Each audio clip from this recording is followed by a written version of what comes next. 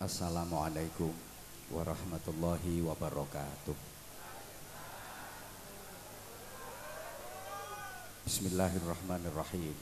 Alhamdulillah wa syukurulillah wal khairu wa syarru bimasyiatillah.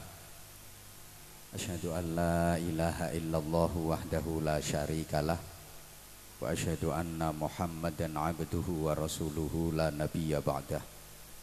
اللهم صل وسلم وبارك على من فيه أسوة حسنة.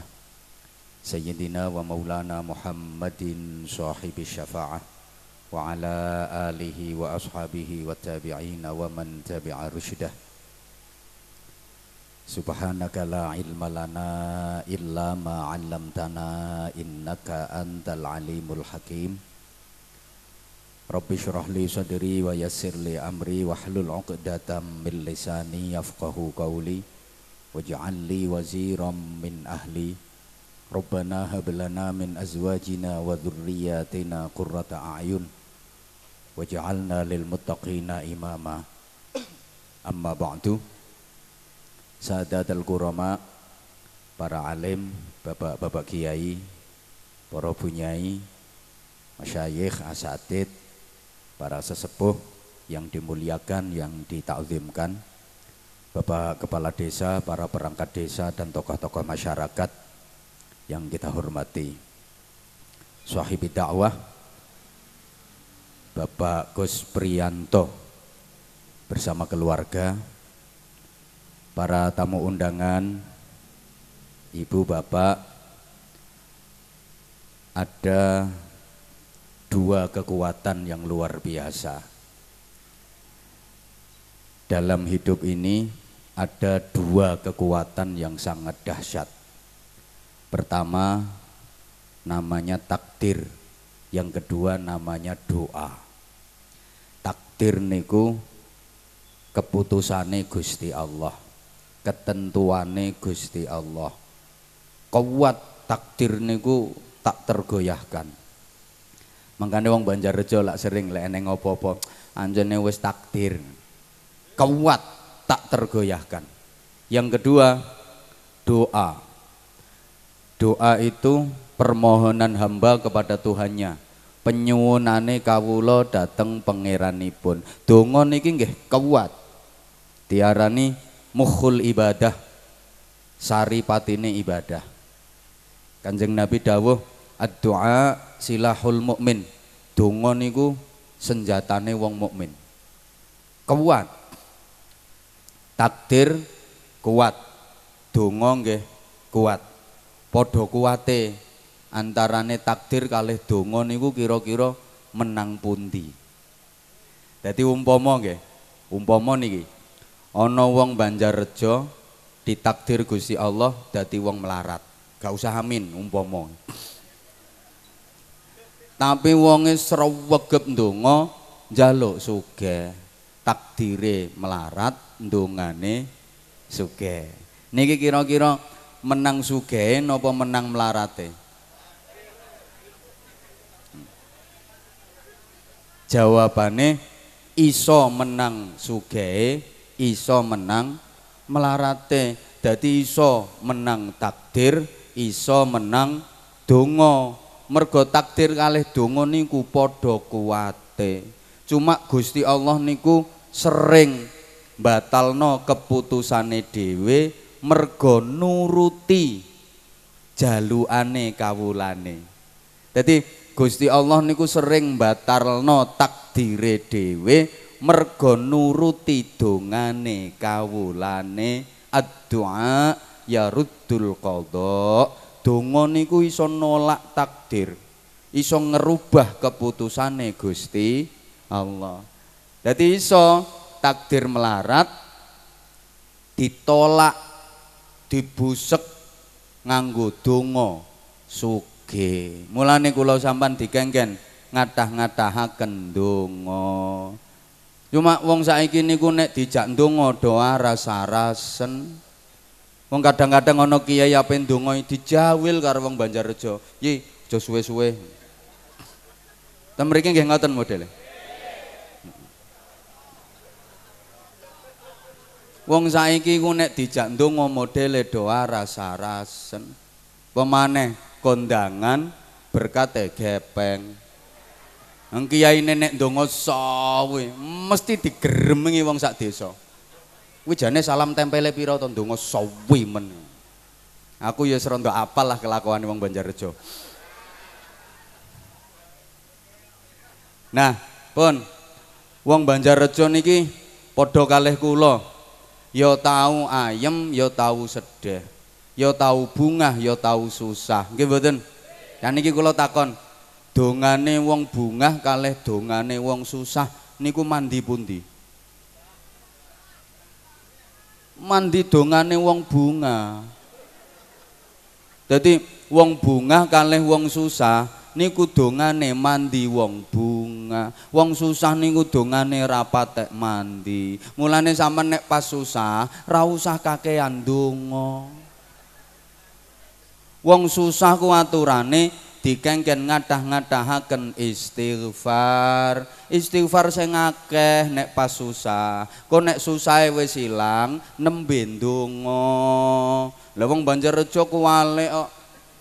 Nek wayah bungah lali Gusti Allah. Panenan dadi regane larang dagangan laris batine akeh awake sehat randuwe utang duwike tumpukan lali ora gelem donga, ora gelem mareg Gusti Allah. Engko nek wayah legrek, wayah remek, panenane gagal utawa panen regane murah, ora ndek dhuwit utange sak pirang-pirang gering, ngono ku lagi ya Allah. Legeknane pas penak kae nondi. Geknane pas awake sehat duweke akeh kae nondi. Ngapunten. Gusti Allah niku seneng disebut asmane. Ana wong dikei sehat, rezekine lancar, keluargane bahagia, duweke akeh, kok eling Gusti Allah, nyebut Gusti Allah terus.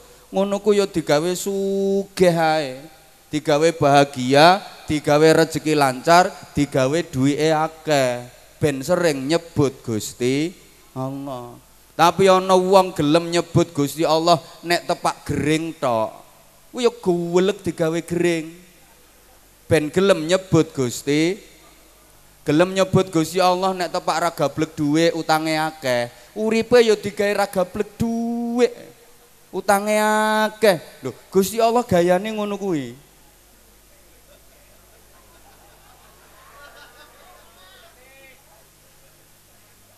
Nah, terus ngene. Ngapunten sak derenge. Gak oleh mangkel, gak oleh nesu, gak oleh tersinggung. Wong Banjarrejo iki kan ana sing sugih, ana sing melarat. Nggih napa mboten?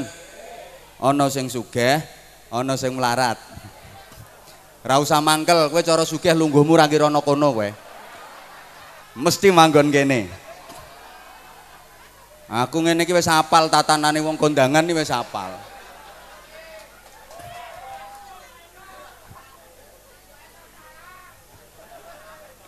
Kowe nek sugih sawamu mbok ora ngarah lungguh nang jaba kono kowe. Kiai kok mbok anggap ra itis lho. Nah saiki aku takok neh dijawab. Wong sugih karo wong melarat dongane mandindi. Hmm, ternyata wong sugih karo wong melarat niku dongane mandi wong melarat. Wong sugih dongane rapate mandi. Padha-padha ndonga wong sugih ambek wong melarat luweh mandi dongane wong melarat. Mulane Kanjeng Nabi niku seneng ambek wong melarat, parek ambek wong melarat. Salah satu sifatnya Kanjeng Nabi niku Bapak Ibu hubbul fuqara wal masakin cinta orang-orang fakir sayang kalih orang-orang miskin nah kula sampean umate kanjeng nabi dikongkon nyonto kanjeng nabi nek kanjeng nabi niku luweh seneng ngancani wong melarat-melarat kula sampean yo ngono, dikongkon ngancani wong melarat, melarat. Lagi aku takok neh, jujur kapan gak jujur langsung tak tinggal mulai. Sampeyan seneng di ngancani wong melarat karo ngancani wong sugih? Heeh. Rata-rata wong Banjarrejo ki luwih seneng ngancani wong sugih. Ngancani wong melarat iki modele wedi ketularan. Padahal salah. Sampeyan nek ngancani wong sugih niku ketok nek sampeyan ora cerdas. Ngapunten, sampeyan nang senengane ngancani wong sugih, malah ketara melaratmu. Malah ketara. Lah nek sampean ngancani wong melarat-melarat, Bu, ora ketara wong wis setelane. Jajal, ibu-ibu sama nekani acara ngantenan. Lah sing mbok kancani kok wong sugih-sugih, ya jomplang, sampeyan kaya babune. Wong sing sugih klambine apik regane 2 juta, klambi 6 rombengan. Wong sing sugih-sugih tase meling-meling, tase wis ngelontok kabeh. Wong sing sugih sandale lo apik, modele jinjit ngarep. Ya sandalmu sandal japit rupane kiwa tengen selandate ra padha ngono. Ketok kaya babune. Apa to manfaate ngancani wong melarat? Kula sampean karo Kanjeng Nabi kok dikongkon ngancani wong melarat. Ngapunten nggih, ngancani wong melarat niku manfaate kathah. Pertama, dari segi politik. Sampeyan nek gelem ngancani wong melarat, gak suwe engko kanca sampean nuwakeh. Mergo ndi ae, desa ndi ae, daerah ndi ae, kuwi jumlahe wong sugih karo jumlahe wong melarat luwih akeh wong melarat. Ngebanjarrejo lho sing sugih mok pira? Sik meneng tak hitunge. Ji. Jero ya kae iya kae loro. Telu papat lima ki enam terus jabane pager ra ono blas. Akeh sing melarat. Loh, mulane titeni yo. Pilihan opo ae? Kok pilihan kepala desa, pilihan legislatif, pilihan kepala daerah sing dadi sapa? Ya endi sing didukung wong melarat-melarat? Wong akeh wong melarat timbang wong sugih. Cuma wong melarat dibeli duit iki ora ngerti. Kowe nek wayahe ape pilihan calon-calone mbek kowe lak apik-apik ngono to. Nek wis dadi. Lah iya ngono kuwi. Mergo apa? Mergo kowe goblok.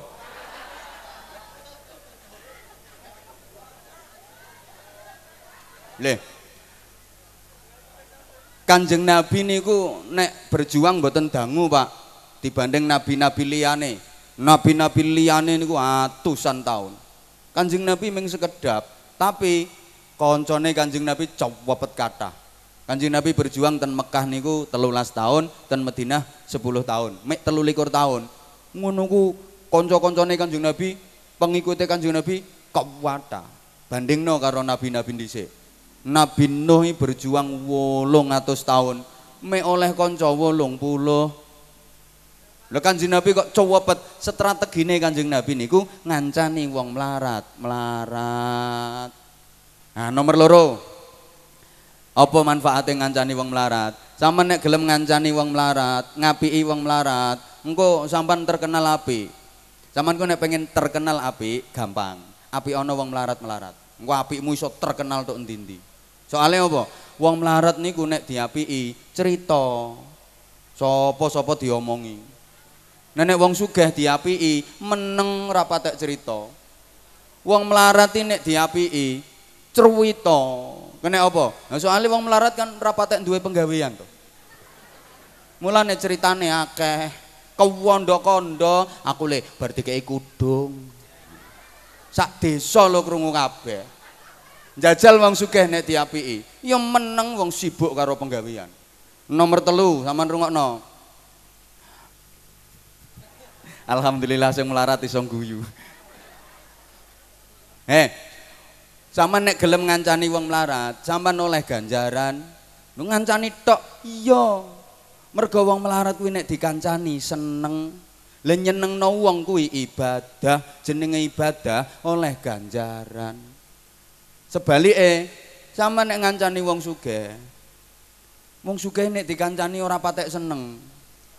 Wong sugih nek dikancani kira iso guyu, malah susah. nyusahno wong niku dosa. Dadi sampean nek ngancani wong sugih malah dosa sampean nyusahno. Nek ngancani wong melarat oleh ganjaran. Soale wong melarat niku nek dikancani guyu, seneng. Sampeyan nek ra ngandel ya, duwe bateh sugih karo duwe bateh melarat, dolani nomahe karo. Engko tanggapane lak buwedo, penampane lak buwedo. Sing melarat nek didolani seneng kok. Assalamualaikum. Waalaikumsalam. Lah sampeyan yuk, kok isu? Ya kabare anak sampean sing barep kesek sekolah nondi. Wis mantu ta urung? ruwenya jajal bareng ngono terus saman dolan nonggone batah saman sing sugih. Engko lak rapatek guyu dungaren rene. Kabare anak-anak piye? Mecucu ngono. Terus ono perlu apa? Dadi wong sugih iki nek didolani sedhe mbah wedi apa ngono modele? Nah, sing kulena utang langsung nyaut ya. Wedi diutangi. Menrungokno, wong sugih tibake jereh. Ngerti jereh nggih? Wedinan kendel wong melarat ambek wong sugih. Wong mundak sugih mundak jereh, wedinan. Rata-rata wong sugih wedinan. Mulane wong sugih iki oh, pageri tembok mumet tok. Saking wedine. Wong melarat ya dak-dakan omahe. Ora sah pager-pageran. Sapa sing ngapain gondol? Kewendel. Loh, sama nek pengen buktekno neh. Diarani Anwar Zahid mek ngoceh to. Nek gak terbukti kena mbok tuntut aku. Wis sak desa Banjarjo kene golek ana wong sing paling melarat dhewe. Terus omahe tengeri, sret. tengeri omahe. Terus golek ana wong sing paling sugih dhewe. Omahe tengeri pisan, sret. terus sampai namu tengah wengi. Jam setengah siji bengi sampai ndang namu nonggone wong sing paling melarat mau. Dodoken lawange. Dok dok dok dok. Assalamualaikum. Ayo dibuka no apa mboten? Dibuka no kok.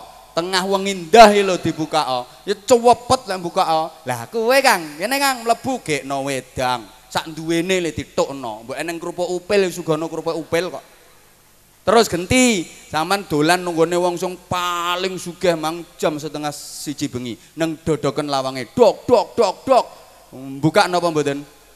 Eh, nganteh drijimu poklek kabeh. Rang-arang buka.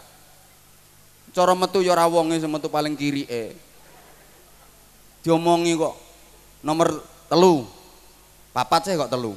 Apa manfaatnya ngancani wong melarat? Kuat ta, mendrungokno. Wong melarat iki pancen ora pinter golek duit. Dapak pinter golek duit ya ora melarat kok. Ora pinter golek duit, tapi dongane mandi. Nenek wong sugih pinter golek duit, tapi dongane ora mandi. Padha-padha ndonga, wong sugih karo wong melarat, mandi wong melarat. Mulane tokoh-tokoh besar, orang-orang hebat niku kata-katae anake wong melarat. Bantan kena omonganku nek nganten. Tokoh-tokoh besar, orang-orang sukses, orang-orang hebat niku kata-katai anake wong melarat. Kiai-kiai alim niku rata-rata nggih putrane tiyang mboten ada. Sing dadi presiden ten Indonesia niku kabeh anake wong gak duwe asline. Orang-orang hebat, orang-orang sukses, rata-rata anake wong gak duwe kiai-kiai alim niku kata-katae asline anake wong ra duwe. Imam Ghazali niku dijuluki Hujjatul Islam. Imam Ghazali niku hebat umure mau patang puluh songo tahun sampun sedo tapi kitab karangan Imam Ghazali iki umpama ditulis terus-terusan telung atus tahun orang ngebaro Sopo Imam Ghazali bapake? Tibake bapak Imam Ghazali sing jenenge Kiai Muhammad niku tukang sepatu. Anake wong ra duwe Imam Syafi'i sing dieloki wong Indonesia niki. Niku nggih anak wong randuwe bapak Imam Syafi'i jenenge Kiai Idris. Wong melawarat. Syekh Abdul Qadir Al Jailani Sultanul Aulia ratune para wali. Nggih putrane tiyang boten gadah Kanjeng Nabi piyambak. Nggih putrane tiyang boten gadah ditempa oleh kesengsaraan mulai cilik Nah, Kanjeng Nabi niku lahir wis gak menangi bapake. Umur 6 tahun ibuke nyusul sedo. Terus angon wedhus. Buruh. Mulane wong sukses sih rata-rata cilike soro. Allahumma sholli ala Muhammad. Sehingga remaja gak cengeng, dewasa dia mampu mandiri. Wong niku nek kulino susah, Pak. Ngadepi urip susah, gak kaget, dijak urip penak, ya iso. Tapi nek kulino urip penak, isone penak tok, kon susah ra iso. Contoh mawon, kula niki Anwar Zahid, santri, kulino susah ke cilik kula. Ono pondok pangananku ya kangkung, ya terong, ya gereh, ya pindang. Aku misalnya dolan nomai sampean kok sampean suguhi kangkung, terong, gereh, pindang, wis pangananku. Tapi umpama aku sampean jak nang restoran nyate, ya nambah, ngono lho. Paham? Jajal wong sing sok juga kulino mangan no restorane, suguhi kangkung, mutah. Aku lho niki santri ya kulino soro, Kulino turu no tekel ora usah lemean. Saiki kon geletak nang gone masjid, ya turu. Mbok turono no hotel, ya iso tanek jajal tapi ya. Tapi uang neng kulino turu no hotel, kulino turu no spring bed, jajal kon turu no gone masjid. Nah encok linu. Ngoten no. Iki penting. Maka jangan kau persulit hidup anakmu dengan membiasakan hidup mudah anak ini mulai cilik digampang no uripe digawe gampang tuweke kangelan kado terindah orang tua kepada anak adalah mengajar tentang penderitaan Boh paham boh ora diomongin ini sama nek anak mulai cilik sampean manja, sama enak no terus uripe, jangan berharap anak lebih hebat dari orang tuanya. Padahal kabeh temen ini mesti kepengen anaknya luwe hebat teko wong tuane. Nggih napa mboten? Ya iya wong bapake rang romesi ngono kok. Tapi nek sampeyan salah didike, aja arep-arep anak sampeyan iso sukses. Makanya niki mau kula matur wong melarat niku rapate iso golek dhuwit tapi dongane mandi. Wong sugih pewinter golek dhuwit tapi dongane rapate mandi. Mulane tokoh-tokoh besar, orang-orang hebat, orang-orang alim rata-rata anake wong melarat. Sebalike bocah sing nawakal nakal kuwi akeh-akeh anake wong sugih. Kula mboten ngarani nek kabeh anake wong sugih nakal mboten lho ya, ngono dipelintir omonganku. Bocah sing nakal-nakal kae lho, rata-rata anake wong sugih. Jajal, sing kena narkoba kae anake wong melarat atau anake wong sugih. Wong sugih, anake wong melarat ra kuat tuku. Ya paling ya oyot kuwi dikrokoti. Nek obat obat nyamuk itu keletaki. Sing melok sing melok geng motor kae sepeda motor api-api larang-larang diperwotoli weng weng weng weng ambiangan no dalan raya ganggu lalu lintas nyusahno polisi kayak kayak kayak aneh wong melarat ane wong sugih ane wong sugih kayak melok geng motor ane wong melarat apa gawe geng geledekan tuh rasa guyu kayak aneh wong melarat ya akhlaknya api-api roto-roto Wis kaya ngene-ngene iki akeh-akeh ya aneh wong melarat iki gelem melok ngene-ngene iki. Anek wong sugih kok ngene iki, ora ngarah gelem. Gengsi nggih mboten. Anek wong melarat melaku lho tawanduk, liwat ngarepe wong duwi anek wong melarat. Soalnya ambek nutupi sarunge sing bolong. Anek wong sugih ngene modele. Ngandalno donyane pakane. Mulane ra iso dadi hebat. Nah terus ngene iki ana sing takon. Lah nek ngono berarti anek wong sugih ki ra iso apik. Iso. wong sugih anake iso apik rungokno kene sugih no kene gone wong sugih sing anake apik niku mboten kok wong sugih sing sregep ndonga. Mboten dongane wong sugih ra patek mandi. Wong sugih sing anake apik niku wong sugih sing ngapiki wong melarat wong sugih sing gelem nulung wong melarat wong sugih sing gelem loman karo wong melarat wong sugih sing gelem nyenengno wong melarat akhirnya wong melarat ndonga. Lah wong sugih oleh pantulan dongane wong melarat krungu geh sugih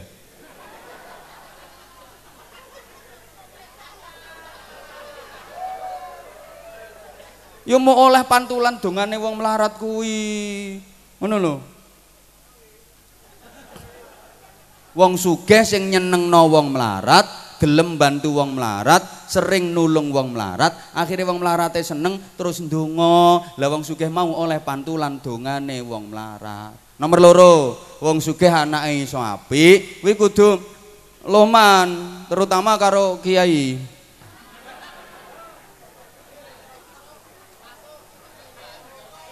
Diomongi kok.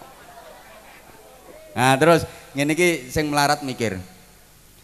Lah nek pancen wong melarat dongane mandi tenan. Kene apa ora gelem ndongakno awake dhewe ben ora suwe-suwe melarate. Wong melarat iki ora penak, jere dongane mandi. Nek dongane mandi tenan, kene apa ora gelem ndongakno awake dhewe ben ora suwe-suwe melarate. Ngeten nggih, aman rungokno. Wong melarat niku dongane mandi, nek ndongakno wong liya.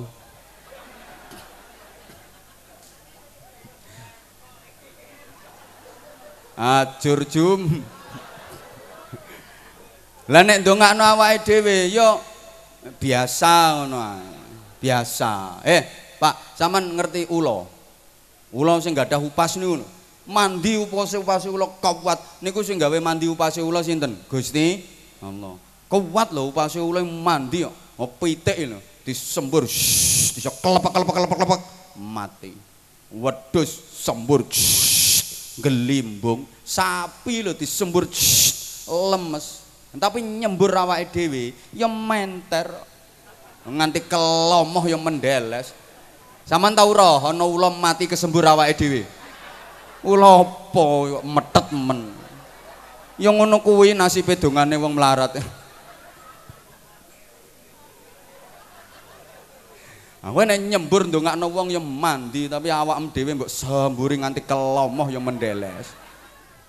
Wong sugih iki apa-apa ndisiki. Wong sugih bangun omah ndisiki. Ayo nyaut, wong sugih bangun omah. Tuku klambi. Tuku kendaraan. Mantu ndisiki milih sing bening-bening.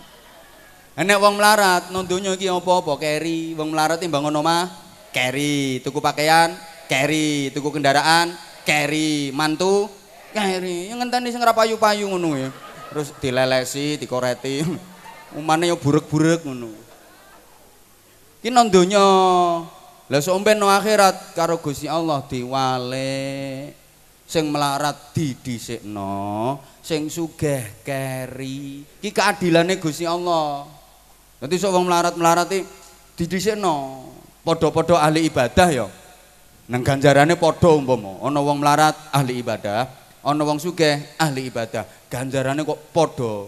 Iki mlebune swarga dhisik sing melarat. Kaceke 500 tahun. Suwe to. Suwe kok. Dadi sing melarat-melarat wis mlebu swarga sik karo bojone. Seneng-seneng kok ya samponan, wis keramas, wis wis andukan, wis guyon memel ngono kok terus Siapa ngomong barwah apa? barados iso berwah apa Nah sing sugih sik dikelentang nang gone ora-ora mahsyar ngitung donyane. Suwi. Eh, sampean wis krungu keterangan ngene iki dos pundi? Tas sik enggak ada rencana pengen dadi wong sugih? Oh, ndablek ngene.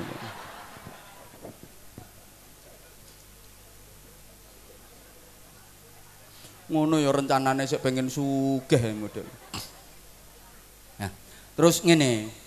Wong melarat-melarat iki somben no akhirat didhawuhi ngene ambek Gusti Allah. Hei wong melarat-melarat, dalem ngono lho kok isin tenan. Baleni, hei wong melarat-melarat. Lah ngono, heeh. Ngono kok isin lho. Nyatane melarat tenan. Melarat ya wis ra apa-apa kaya melarat ijen. Kancane yo sak pirang-pirang kok. Ngopo kok isin? Bature lo akeh. Didhawuhi ngene, "He wong melarat-melarat." Lah ngono. Awakmu mbiyen nang donya ki apa-apa keri ambek wong sugih, tapi awakmu sabar. Nah saiki tak walik tak dhisikno kowe mlebune swarga. Nang do mlebu swarga dhisik, cuma eling-elingen ya. Wong sugih-sugih sing biyen tau apik karo awakmu, tau nyenengno awakmu, tau nulung awakmu, tau bantu awakmu, jaen no swarga pisan. Nggih Gusti. Dadi sampeyan akhirat wong melarat gawaya. Guwaya mlebu swarga sik. Nah, apa mlebu swarga yo pamit nenggone wong suga-suga. Nun sewu derek-derek kula ten swarga riyen nggih. Sinten sing badhe derek? Monggo, ngono. Nah wong sugih sing pengen melok ngantri do daftar. Wong melarat apa dieloki? Milih sing tau apik dijak, tau bantu dijak, tau nulung dijak. Apik, ora tau bantu, ora tau nulung, moh dieloki. Ane wong sugih moro. Dik, aku melok dik yo dieling-eling. Oh iya tau ngekeki sarung. Ayo ngono. Dijak. Kan wong wedok sugih moro. Dijen dijen dijen dijen dijen. Dek aku melok, Dek. Antriku lek sik suwi, Dek. Aku melok ya. Terus dieling-eling, oh iya tau ngekeki kudung bojoku. Ayo Bu, ayo Bu. Katut. Pak Lurah moro. Untuk untuk untuk untuk untuk untuk. Eh, Dek, aku lurahmu, Dek. Aku melu, Dek. Sing larat, sik. Jere wong melarat, sik. Mbiyen ngekeki dhuwit njaluk dicoblos ngono kok. Alah rasa guyu wong kowe nek ra dikeki dhuwit ora gelem nyoblos ngono. Setel. Tapi terus dieling-eling neh. Oh iya, Ceh. Pak Lurah biyen tau buah, tau suruhan nang akeh suruhane. Wis ora apa-apa Pak Lurah, ayo. Ngono. Mulane lurah nek suruhan sing akeh. Lurah suruhan sak tik ya diomong wong sak desa. Atik wong Banjarnegara kene iki lambene wis do lecek kabeh. Langsung umum Saiki suruhan sesuk warung ndi mesti bakas. lurah mau rong puluh hewu lurah apa ya mulane berat resikone dadi lurah apik sak pirang-pirang lho raket tok Pak Lurah sampean tapi elek situk buah sak itik. Suruhan sak itik langsung umum sak desa. Mulane aku wegah kon dadi lurah aku. Emoh aku. Sangku tak pilih ngene ae wis renes kok.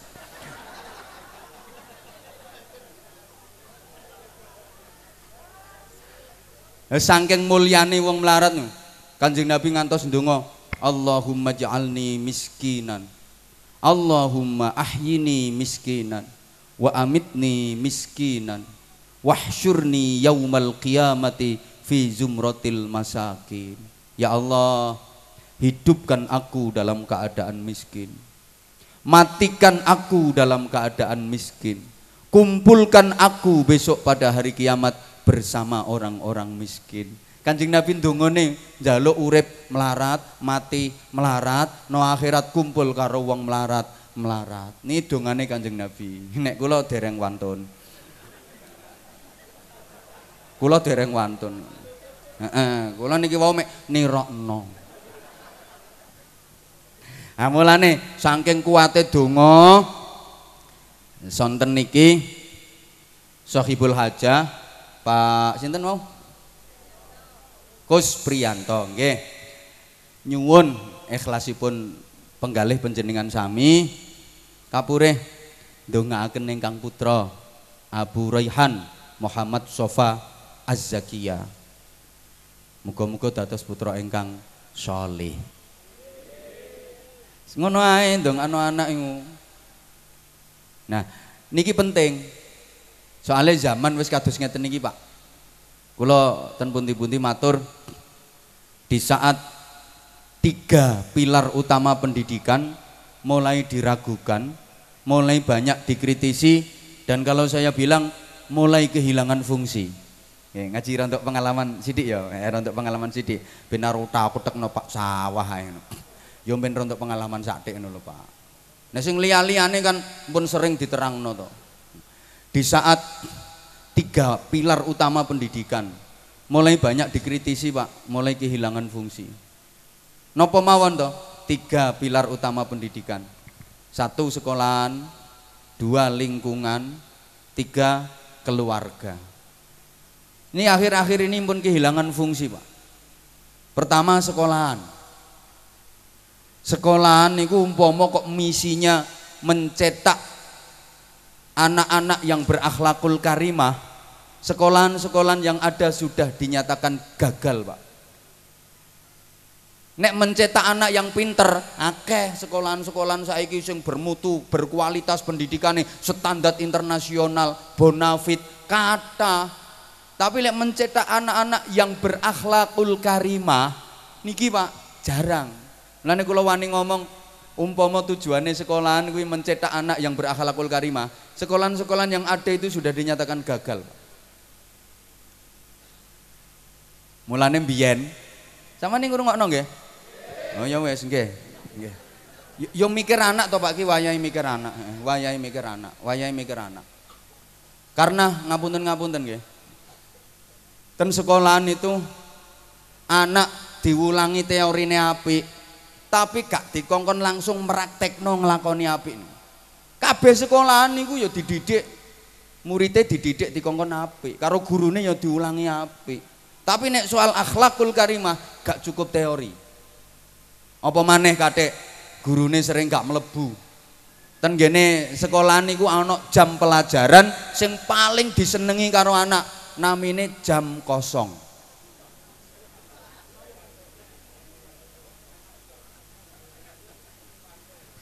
Kula winginane maos berita niku ngeri, Pak. Wonten anak usia SMP terlibat prostitusi online. Padahal saya SMP loh, Pak. Ngerti prostitusi online? Ngupro ilo ngupro apa cah? ngono kok ora ngerti oh yang ngono se SMP wis ngup SMP nih jadi begenggek jajal akhirnya ditangkap diusut karo polisi diurus lah kok sing dadi germone kakak kelasnya dewe la haula wala quwata illa billah prihatin Ya itu terjadinya transaksi kapan? Ya ketika jam kosong atau jam istirahat ada interaksi sesama murid. Heh, iki ono tawaran sak mene pelanggan sak mene. Ya bocah sing do mendem-mendemnya kayak sak sekolahan kok. Nonggone sekolahan ini janjian, engko bengi mendem nondi.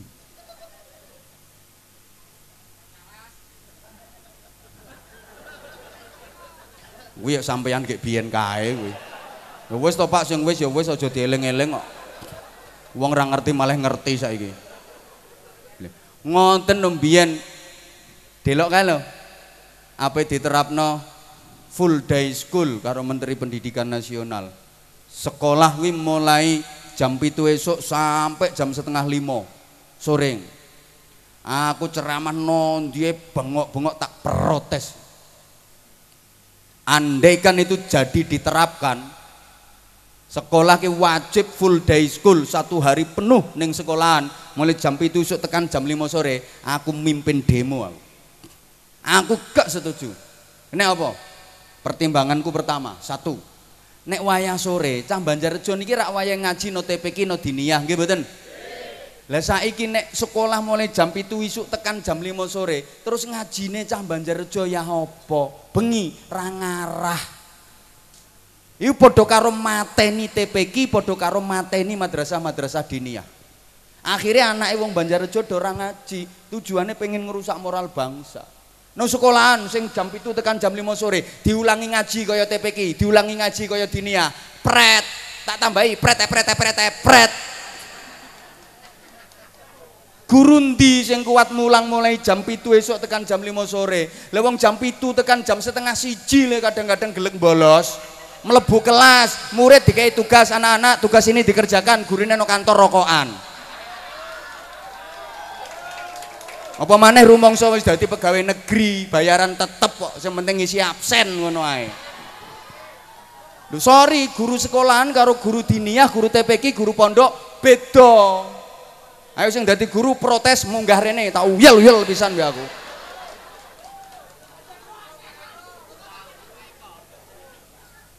Guru sekolahan apalagi yang sudah PNS wis negeri banding no karo guru TPK, guru dinia, guru pondok beda. Pegawai negeri sementing benulan oleh bayaran no. anggar melebu kelas bocah tiga iki tugas kerja no tinggal serah masalah kok sesuai karo LKS wes ramasuk rata sampai no nomor telu bocah kemampuan otaknya terbatas pak Lah nek mulai jam pitu tekan jam 5 sore digejoh dikai pelajaran sekolah terus, radati pinter malah do koplak. Wong kemampuane bocah otaknya terbatas. Apa maneh anak wong Banjarrejo ndelok pakane kan rapatek pinter.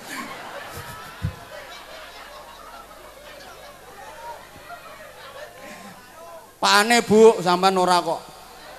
Rasa melok bengok-bengok nang jabane pager. Samane asline ra undangan namul kuwi. Mulane ya ora usah arep-arep berkat. Ya bangkrut tuan rumahe. Sing oleh berkat ya sing luhu kursi kene tok. Kidule tembok ora undangan nyamul. Ya dikai jajan wis lumayan wisan wae.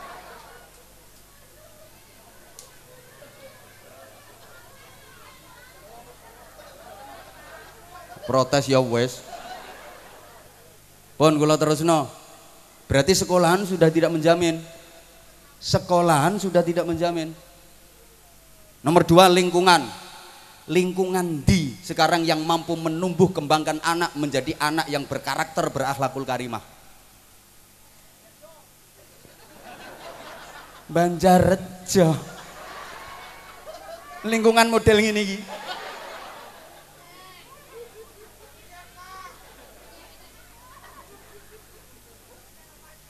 Ora ora ora ngenyek aku. Orang ngenyek. Loh, lingkungan ini pengaruh apa? Lingkungan ini pengaruh lingkungan ini pada karo tanah. Tanah ini subur wis tau bibit bibit tanduran rapatek subur. Dicir nenggone tanah sing subur. Apik kok tandurane. Bibitnya subur icir nenggone tanah sing gersang sing tandus. Ya garing mati kok bocah apik potensine nek urip nenggone lingkungan model Banjarjo kene Mangkel ya wis kok. Salahe ngundang aku.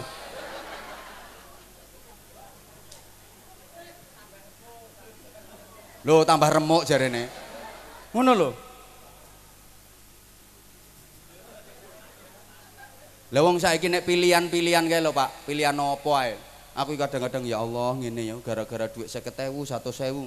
Solawat nariyah kuwi kalah karo solawat rupiah.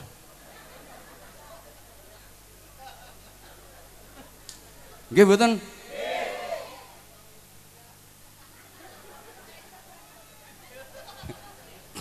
Nomor telu, keluarga. Eh, keluarga mana sekarang yang bisa mendidik anak, mengantarkan anak, mengantarkan anak menjadi ahli zikir, ahli fikir, ahli ikhtiar, menjadi ulul albab. Bapak endi sing iso dadi contoh, iso gembleng, iso didik anak-anake dadi apik. Ibu endi sing iso ndidik anake dhewe kanthi apik, pengen ngerti aku. Jangankan wong biasa, jujur kiai mawon, bunyai mawon, mboten saged ndidik anake dhewe. Mulane kiai bunyai didik anake mulang anake niku nggih pendasaran tok. Begitu lulus MI, lulus SD, wis gak sanggup didik anake dhewe. Mulane rata-rata putrane kiai putrine Bunyai Kiai niku dipondokno ten gene pondok liya kon mulang kiai liya. Kena apa? Ya rumangsa ora sanggup mulang anake dhewe. Kula dhewe ngoten. Kula dhewe ngoten. Anak kula lulus SD langsung kula pondokno.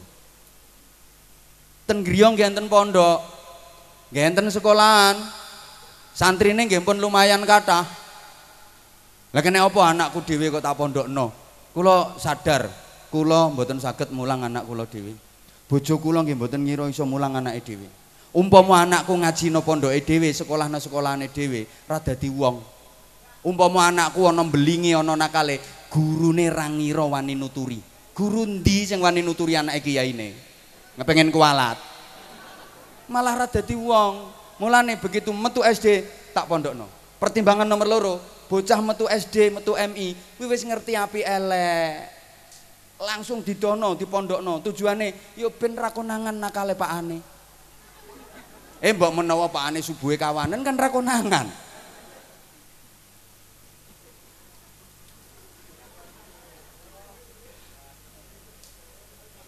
eh nek bocah mbiyen manut karo wong tua soalnya apa wong tuane kena dinut bocah mbiyen cuk nyonto wong tua mergo wong tuane kena iso dadi contoh Bocah mbiyen wedi karo wong tua. Mergo gak tau ngerti eleke wong tuane. Gak tau roh cacate wong tuane, gak tau ngonangi nakale wong tuane. Mulane wedi bocah mbiyen karo wong tua. Nah bocah mbiyen nakal, eh nakal, kandakno pakem, kandakno buem. Ya kipo-kipo ora karuan wedine. Kosel kosel. Zaman sampeyan sik cilik biyen nek diwedekno, dikandakno pake, dikandakno mboke nek wedi nggih mboten. Mergo sampean ra tau roh nakale Pak, ra tau roh nakale Mbok, ra tau ngerti eleke Pak, ra tau ngerti eleke Mbok. Lah bocah saiki kandakno Pak, kandakno. Lho ngono kuwi wong tua saiki sing disalahno anak ten pundi-pundi ngomongin niku ngeten. Paling nek kene ya iya. Nek ana bocah kok nakal, eh sembah. Entah saiki kira kenek dituturi wong tuwek. Entah saiki kira gelem nurut ambek wong tuwek. Padahal omongan iki salah besar. Sing bener omongane ngene. Eh sembah. Wong tuwek saiki pancene ra iso didik anak. Wong tuwek saiki pancene ra kenek dicontoh anak. Sing bener ngono.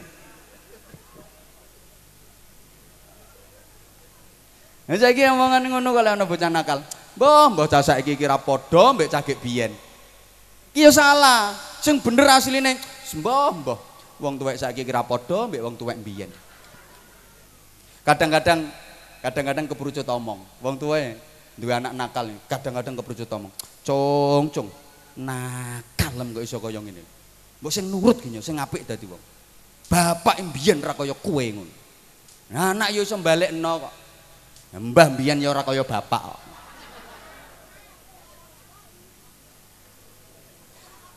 mesti langsung dibalekno katik mbok kono bapak mbiyen ra kaya kowe jare anak mbah biyen ora kaya bapak Mbok terusno, anakmu ya iso nerusno.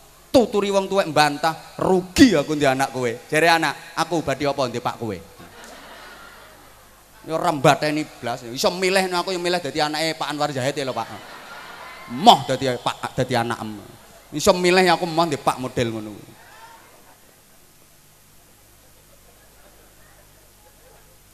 Kenapa?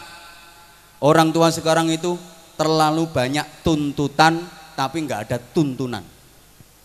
Orang tua sekarang hanya bisa menyebut contoh, gue melok ngundang menengai gue. Orang tua sekarang itu hanya bisa menyebut contoh tapi tidak bisa memberi contoh. Tak baleni, tak baleni. Terlalu banyak tuntutan tapi nggak ada tuntunan Padahal metode ini didik anak wis jelas dicontohno kudu uswatun hasanah. Memberikan contoh bimbingan dan keteladanan niku sing sukses. Anak lho sama ngomongi ping sewu ambek sama contoni ping pisan. Kuwi mandi sampeyan contoni ping pisan. Pancene angel. Halo. Lah anak mek dituntut tapi gak dituntun no, Pak. Dituntut. Kowe kudu bekti karo wong tua. Kowe sekolahmu kudu pinter, ngajimu kudu sergep. Sok kudu dadi ngene, dadi ngene. Dituntut tok, gak dituntun. Kasih tuntunan, ndak usah banyak tuntutan. Ibu-ibu karepe kadang-kadang apik, tapi carane salah. Anak bar magrib ndelok TV nubu aneh ngomeng ra karuan. Eh, TV-ne pateni bar magrib wayang ngaji. Kandani bolak-balik kok. Bareng maghrib ora ndelok TV ayo pateni sik ngaji.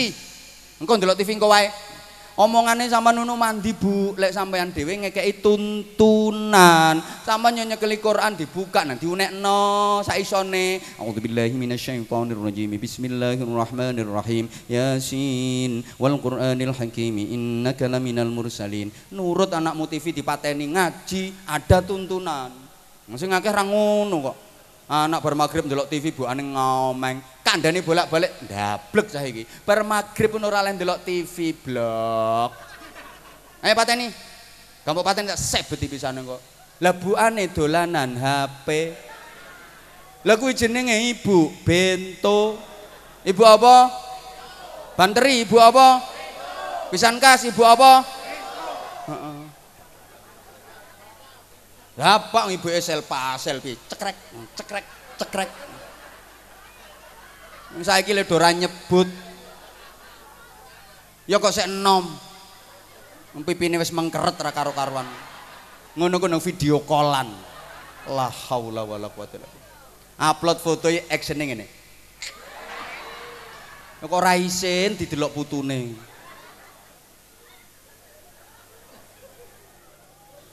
Kuwi jenenge mek nyebutno contoh tapi gak iso ngekei Aman paham nggih maksud kula nggih? Mulane nggih, kula niku ngapunten nggih, pengalaman pribadi. Pengalaman pribadi. Kula nek ditakoni cah biyen kok apik-apik ya, nek cah saiki kok elek-elek nek apa? Jawaban kula ya sederhana. Cah biyen apik-apik mergo wong tua biyen apik-apik. Cah saiki kok nakal-nakal mergo wong tua saiki ya Heeh. Kena apa cah saiki kok ndablek-ndablek? Ya mergo wong tua saiki Kula niku saya eling, Pak. Nek mboten salah mbiyen kula sik kelas loro SD. Pokoke sik cilik. Kula sik cilik niku biasa turu langgar turu masjid. Bar subuh kan mulai wayahe bajangan kebembel lho, Pak. Kok nggotek, menek kok.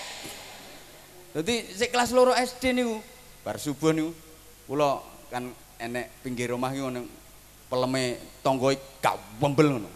Tak penek mbek aku. Njukuk telu tak adai kaos. Aku, aku ya ora ngerti nek ngono ku nyolong ora ngerti.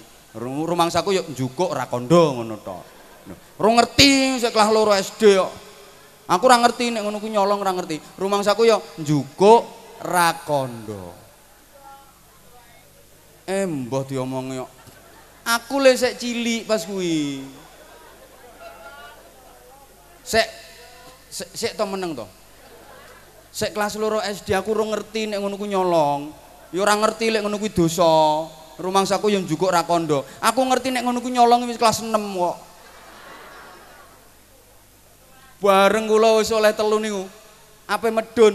Lah kok sing duwe wit bajangan iki lho metu kok jumbleng? Ngertos jumbleng ya? WC manual nih lho. Metu kluyur-kluyur. Aku yang mikir jelas sik kepet wong kuwi Lah cewek nondi. Bareng wong liwat ngisore ngisorku lho. Lah kok ana kerangkang lho mlebu katokku. Dicokot cetet aku kan kejet-kejet. Bareng aku kecil-kecil kerusek-kerusek wonge krungu di center jret. Sopo kuwi? Aku le Ayo medun. Moh le medun. Moh le gak medun tak kandakno bapakmu. Tak hitungi ping telu kapan gak medun. Siji wonge lagi ngitung siji aku anjlok pak. Saking wediku apa dikandakno bapakku. Anjlok bajangan telu ya ceblok dipek neh ambek wonge kok. Aku leh mentol tok kuwi. Lho kene apa? Aku diancam dihitung ping telu gak medun kandakno aku lagi dihitung siji wis medun. Mergo aku ora tau ngerti bapakku nyolong saking wediku. Njajal bocah saiki. Ayo kowe remedun kandakno bapakmu. Kandakno kae wong nang dhuwur nggo plastik kresek kae.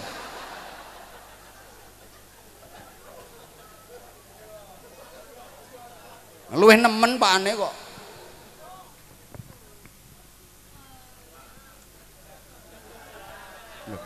Lho piye to Pak? Wis sak jam lebih kok.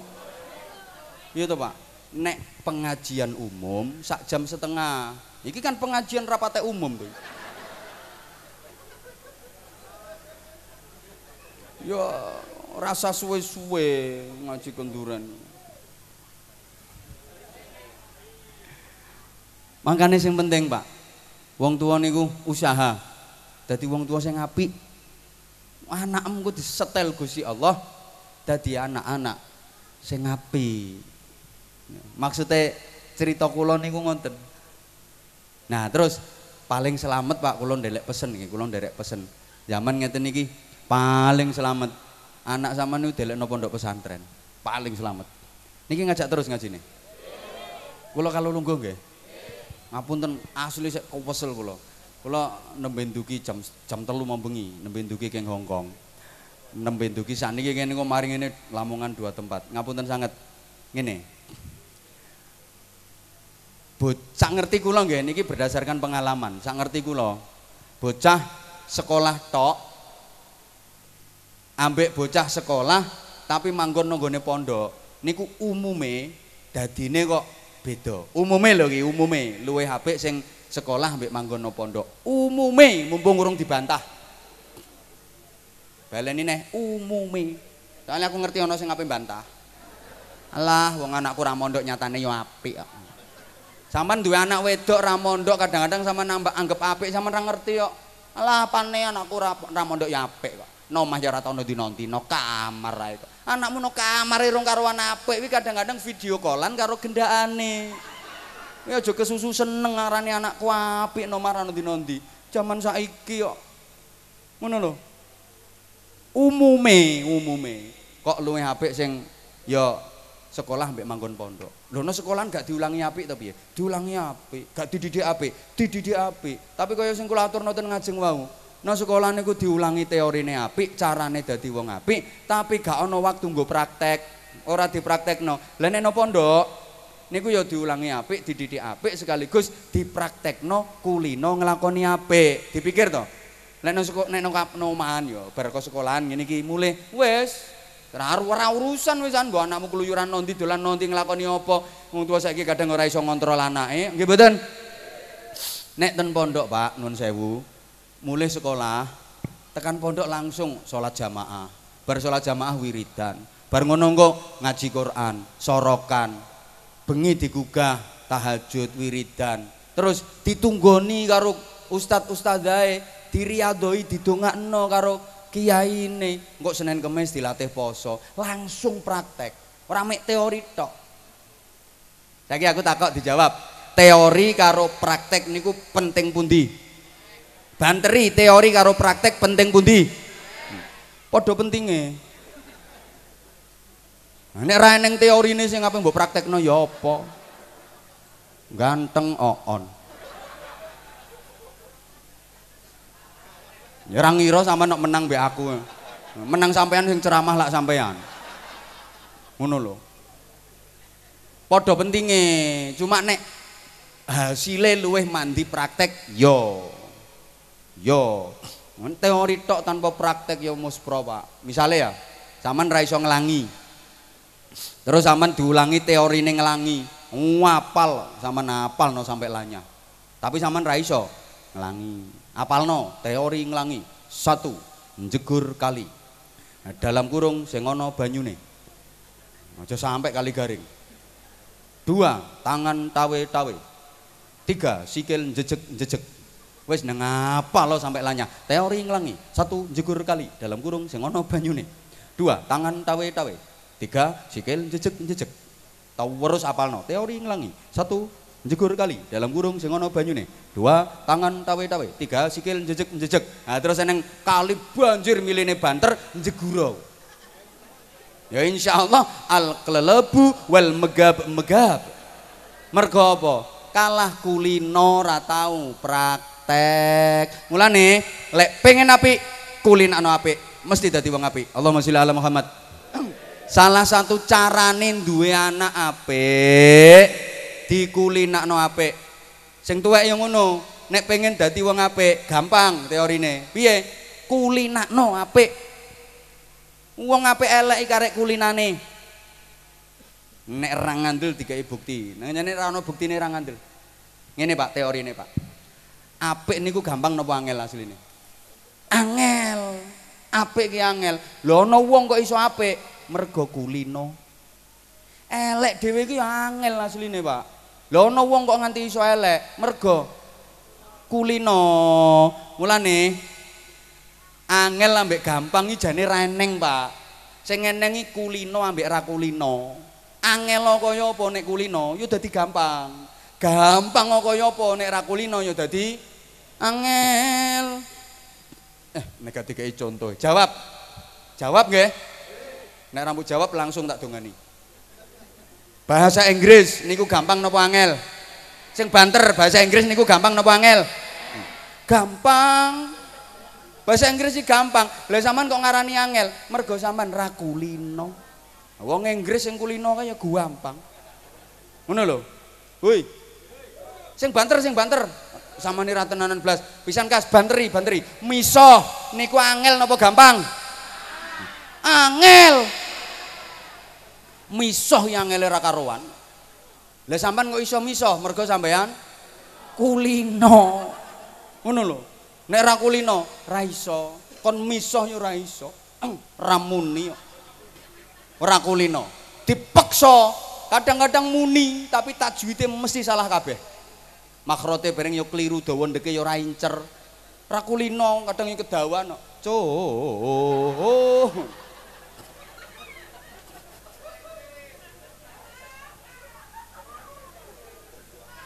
Mangkane ya, nek ana wong misuh nang incer tajwide bener.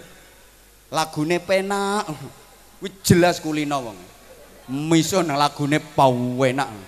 Atek wonge ngomong, aku sak lawase lagek bisa niki miso. Ra ngandel. Bisa napa lagune penake ngono. Nek ra kulino ragune ra ngarah penak. Paham? Paham?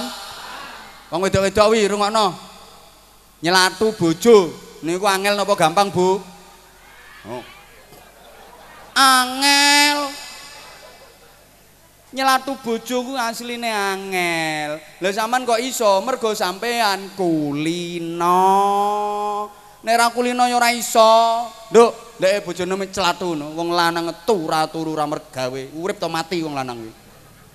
Celatu ngono tuman wong lanang. Nang ra kulino aku le ra iso bu kok nyelatu. Ra iso kok. Tambah mewek. Mergo ra kulino. Nek kulino? Hm, kadung nyelatu ya lancar. Ora ana nyendat-nyendate blas. Lancar. Sekali nyelatu iso muni terus. Ora leren-leren. Iso lereni mergo keturun Nah, wis keturun ngono ku lho, melek. Iso nerusno neh.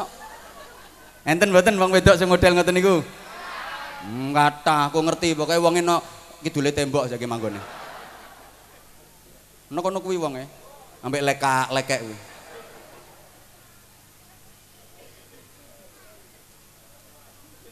Eh. Wong niku nek kulino zikir, kaget sak kaget sing metu asmane Gusti Allahumma sholli ala Muhammad. Diterusno mboten? Wong nang kulino dikir enak-enak melaku nang sikile kesandung watu cetet innalillah astagfirullah ya Allah mesti ngono. Wayang iki lho di pemenan kelambi nang kodanan kena angin ngono. Ya randulani lek ku nata sekesuk. Ya Allah ngelingkap kabeh ngene iki dadine. Ya Allah mergo kulino. Mbok putune tekon, Masya Allah, putuku. Sakmene gedene ayune, ya Allah, kulino. Ngene iki sok sawaya-waya kaget roh metu mati iki lho. Kaget ya Allah. Oh eh. Nek wong kok ngono tenan janjine Gusti Allah dhewe? Ana jali suman zakaroni. Aku siap ndampingi wong sing zikir nyebut jenengku. Eh mbok paham mbok ora? Nek ora kulino Bu, mlaku kesandung ra iso muni astagfirullah innalillah. Cetet Lah watu kaya ngene cek eh eh eh eh. Yo eh eh ngono. Mbok ndek pemenan kelambi morat marit kena angin eh eh eh randulone nek ku nata sekesuk lah kok ngene morat marit eh eh eh lah ngumbah neh ngene iki. Putune teko ya ngono. Eh eh eh putune. Eh eh eh eh. Ngene iki sok wayah mati. Ya ngono. Eh eh eh. Lha nek ngono tenan kira-kira sing teko sapa? Ya mak lampir kok. Eh eh eh. Mergo dianggap jamaah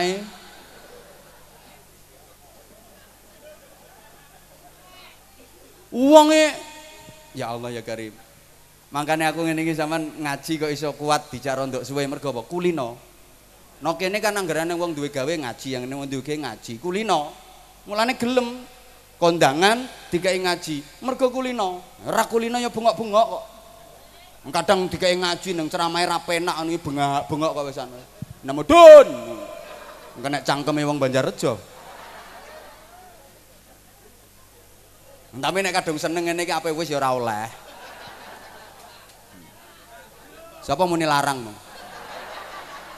Pengen murah ya aja ngundang aku. Pengen murah ya mau denim dhewe kon ceramah. Karowan.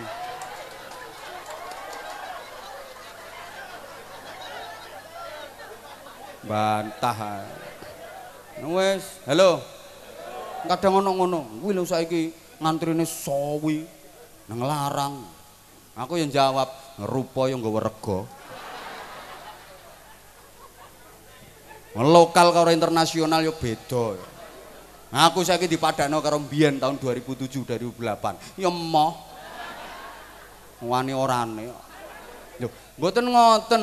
Kula kan nggih butuh regenerasi to, Pak. Lah nek kabeh acara cilik-cilik barang tak rayuki kabeh. Lah engko sing ustaz-ustaz sing nembe belajar-belajar ngono sok apan majune. Wah aku biyen ya teko cilik, belajar teko cilik, teko cilik, teko cilik. Biyen yo ngono. Lah nek saiki mentang-mentang mesti tekan luar negeri, kabeh dirayuki. Lah regenerasi nanti macet, Pak. Aku kepengin Bojonegoro ini terus bermunculan, bermunculan, terus bermunculan terus tukang-tukang dakwah ngene iki berjuang. Lah nek sampean nek ngundang aku kangelan aja sambat. Ngono lho, ora ngarah kuat.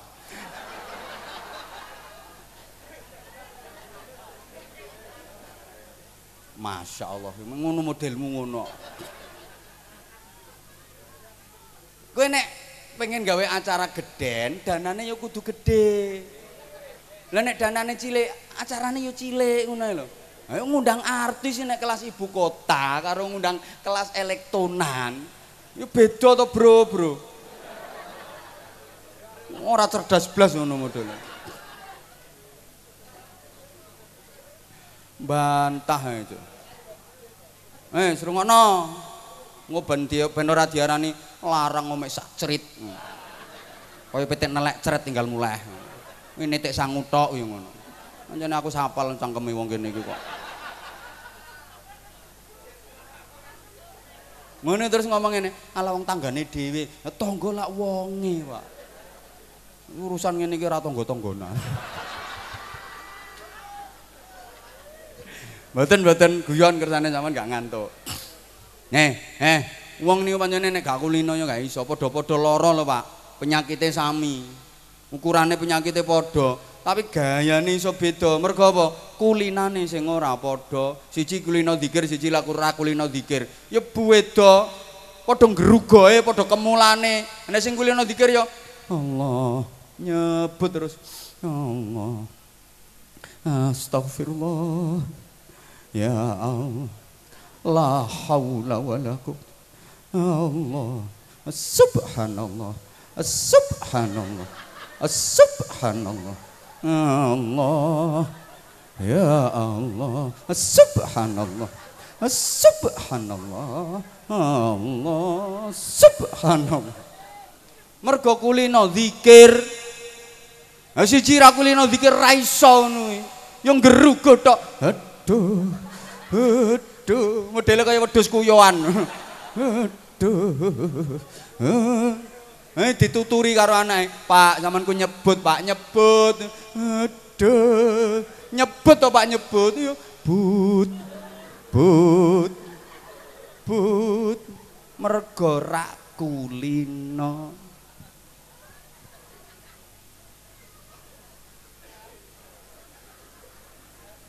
Mangkane anak samanu pengen apik, kulinakno nglakoni apik. Kulinakno didik kelawan apik. Nonggone keluarga, nonggone lingkungan, nonggone pergaulan, nonggone sekolahan, nonggone nggon ngajine. Nah, lek nonggone pondok pesantren niku dikulinakno ngono, Pak. Mulane kula tahu ngomong ngene, sampean protes ra apa-apa. Sak nakal-nakale bocah manggono pondok tetep oleh barokah, Pak. Sak nakal-nakale tetep oleh barokah. Mulane ya, Bocah no pondok kadang dianggap nakal, kuwi nomah wis kelebu apik wisan. No pondok nakal ini nomah wis apik wisan. Tak kei contoh. Tak kei contoh. Bocah no pondok, Pak. Wis gelem salat subuh tepat waktu. Niku kadang saya dianggap nakal. Loh, wis salat subuh tepat waktu kok saya dianggap nakal. Nggih, soalnya gak melok jamaah. Dianggap nakal. Tapi lek nomah anak gelem sholat subuh tepat waktu lewis gua anggap solih suwoli hawah nun sewu nggih nun sewu kula umpamane napa pondok pondok Isu-isu niku melampah-melampah kula. Enten lari niku rambutnya petal kabeh Pak. Rase, Pak. Ketara berkegunting, digunting, digunting, digunting petal. Kalih ngepel isu-isu dhewean. Ijenan ngepel tak takoni. Lah rambutmu kok iso petal kabeh apa ngepel dhewean. Kula ditakzir, Bah. Ditakzir niku dihukum. Nah salahmu apa? Kula salat jamaah subuh ketinggalan sak rakaat. wis melok jamaah salat subuh ketinggalan sak rakaat niku sik dianggap nakal no pondok Pak petal rambutnya tel wis jamaah subuh ketinggalan sak rakaat saiki aku takok wong Banjarjo sing noke niki sing duwe anak usia SMP SMA sapa sing anake ge esuk salat subuh jamaah no masjid ngacung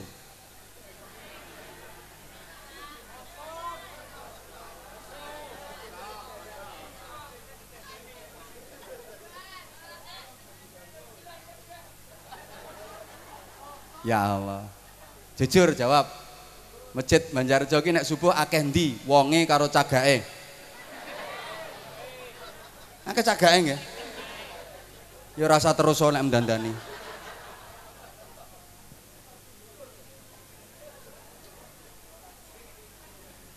Ngono kuwi Pak faktore.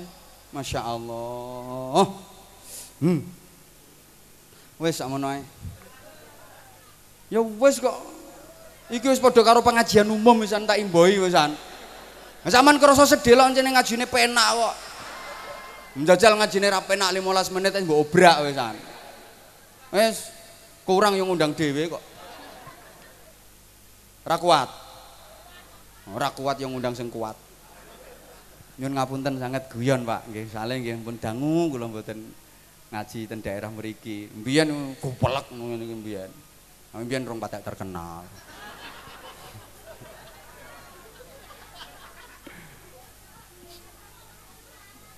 Hmm, saiki larang, Pak. Kandhane kok kon ngundang modin kok. Uh, oh ya ora usah antri suwe. Saiki mbok undang kok bengi tok omam langsung nggawa lawon diukur kowe. Apa cah?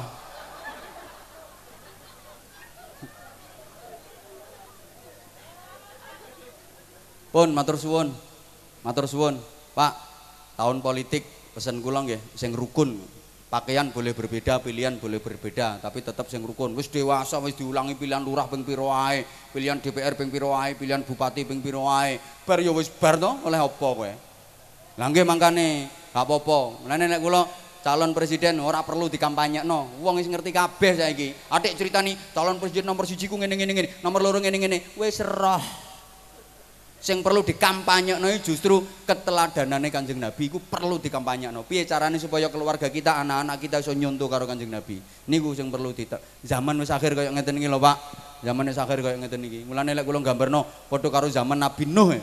Gara-gara wong do nakal, do kafir, do mungkar banjiri sak donya kelem mati kabeh. Lunas sing elek-elek resik ora ana sing urip. Sing selamat karek sing gelem nunut praune Nabi Nuh.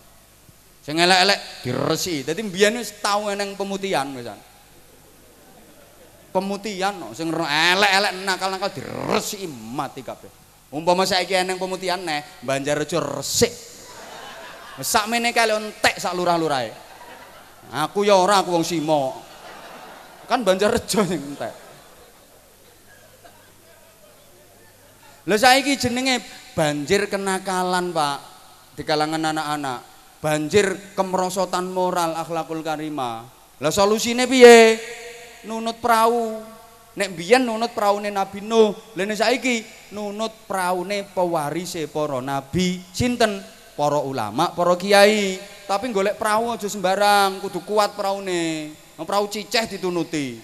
Kena ombang kena gelombang ya pecah praune praune kudu sing kuat sing kokoh.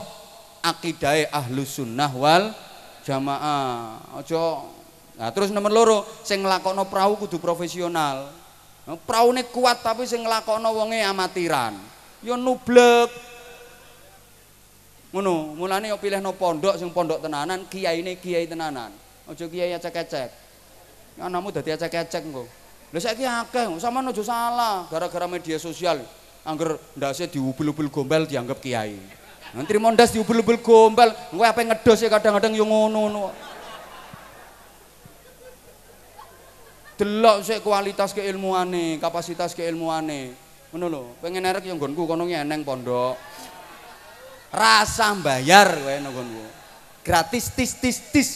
Pokoke karek wis kebutuhane saben dinane nggo jajani anakmu nggo tuku sabun, lek urusan pondok, urusan sekolah ini serane bayar-bayaran. Tak jamin anakmu kualitasnya apik. Minimal kaya iki minimal. Ya tujuannya ngono luwe apik teko iki. Kula gak sak teruse ngene somben kudu ana sing nerusno. Ngoten. Nah, terus anak wi dikulin ana apik. Dadi bocah nek apik niku ya omongane apik kelakuane apik sembarange apik sing dibahas barang apik. Wong nek elek niku senengane bahas barang elek. Makane sampean aja gampang kebujuk lek nggone media-media sosial. Ana toko kok senengane elek-elek wong Saiki Indonesia lek diwelek-elek ra karuan to. Indonesia welek duwe Pancasila, welek merah putih welek, Pancasila welek, Bhinneka Tunggal Ika welek. TNI welek, Polri welek, Banser welek, Kiai welek. Aku mikir, nah terus sing apik sapa? Gemblungmu kuwi sing apik. Wong nek pinter sing dibahas ya wong pinter sing diceritakno ya wong pinter. Wong goblok sing dibahas wong goblok sing diceritakno wong goblok. Kamane duwe anak, kok anak sampean pinter, engko sing diceritakno lak kancane sing pinter-pinter. Misalnya anak zaman sekolah terus oleh ranking oleh peringkat 4. Lah wis pinter to kuwi. Ya wis ndelok pakane.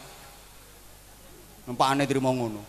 Anak zaman sekolah kok ranking 4. Oh pakane seneng. Alhamdulillah nak, bapak seneng anake bapak ranking 4. Wong anake bapak iki umpama ranking 10 lho bapak wis bangga wis seneng. Nah kowe iso ranking 4 iki bapak ya seneng. Terus anakmu ngomongi lak ngene, "Pak, aku mau ranking 4." Isek kalah karo Dedi, Pak. Dedi ranking 2. Hmm, malah Raihan nih lho Pak, rankingnya satu. Hmm, no, Rian nih ranking tiga, aku mek ranking empat. Sing diceritakno ya kancane sing pinter-pinter. Tapi zaman misalnya ya, dua anak sekolah telung puluh wolu. Misale, nih zaman lo no, engkau sing diceritakno lah kancane sing goblok-goblok. Cong, cong ranking telung puluh wolu, ini bapak yo isin no, cong, cong. Eh mbak sama nih orang ranking siji masuk sepuluh besar no bapak seneng. Ranking kok 38 iki model apa? Jere anak. Lumayan Pak 38. Joko ranking swidak papat.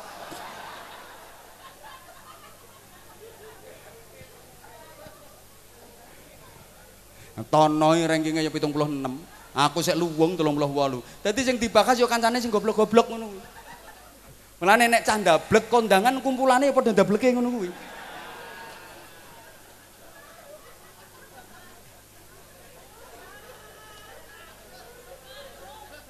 Njajal kowe lungguh jejer karo Pak Lurah, bokong langsung udunen. Wis ngono kuwi wong. Mulane pesen kula niku mawon, muga-muga manfaat masalah barokah fitin wa dunya wal akhirah. Nyun ngapunten, nyun ngapunten ingkang agung, nyun ngapunten sangat kula jak guyon, soalnya nggih wis untuk suwe kangen kula.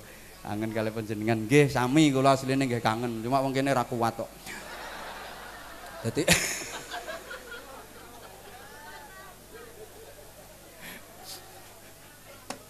Boten. Nyun pangapunten sangat ya Allah, nyun pangapunten. Nggih Pak, nggih kula nggih nuruti nuruti tiyang kathah lho Pak. Dadi ngene iki ya sing dulur-dulur, dulur-dulur sing ning luar Jawa, sing ning luar negeri. Wis kadung soalnya Pak. Wis dongane mawon, dongane mawon. Setidaknya kula nggih membawa nama baik Bojonegoro. Dan pundi-pundi nggih tetep Bojonegoro, Bojonegoro ditampilne nggih. Semoga-moga putrane Pak Kus Pri Yanto khususipun kalih putra putri kula ngene sedaya mumpun dados dzurriatan thayyibah al-fatihah. A'udzubillahi minasyaitonir rajim bismillahirrahmanirrahim Alhamdulillahirabbil alamin arrahmanir rahim maliki yaumiddin iyyaka na'budu wa iyyaka nasta'in ihdinas siratal mustaqim siratal ladzina an'amta 'alaihim ghairil maghdubi 'alaihim waladdallin Rabbi firli wa liwalidayya wa lil mu'minina amin ya rabbal alamin Allahumma shalli 'ala sayyidina Muhammadin wa 'ala alihi wa sallim wa radiyallahu tabaraka wa ta'ala qul sahabati rasulillah ajma'in walhamdulillahi rabbil alamin Allahumma ja'al jam'ana jam'an marhuma wa tafarruqana min ba'di tafarruqan ma'suma Allahumma ja'alna wa ja'al auladana wa talamidana wa ahlana wa dhurriyyatina min ahli al-'ilmi wa ahli al-khair wa salafi darain wa la taj'alna wa iyyahum من أهل الشر والضير. اللهم ثبت إيماننا ونور قلوبنا وسلمنا في الدين والدنيا والآخرة. اللهم لك الحمد ومنك الخرج وإليك المشتكى وأنت المستعان. عليك البلغ ولا حول ولا قوة إلا بك. ربنا هب لنا من أزواجنا وذرياتنا قرة أعين واجعلنا للمتقين إماما. ربنا آتنا في الدنيا حسنة وفي الآخرة حسنة وقنا عذاب النار وقنا عذاب النار وقنا عذاب النار. وأدخلنا الجنة مع الأبرار برحمتك. وفضلك يا عزيز يا غفار يا حليم يا ستار يا رب العالمين. وصلى الله على خير خلق سيدنا sayyidina Muhammadin wa alihi wasallam. Subhana rabbika rabbil izzati amma yasifun wa salamun mursalin. Alamin. Lan khilaf. Assalamualaikum warahmatullahi wabarakatuh.